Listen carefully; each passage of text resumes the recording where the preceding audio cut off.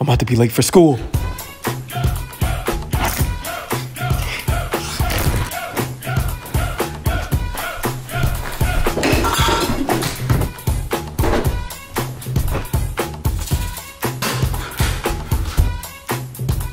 Good morning, Mom.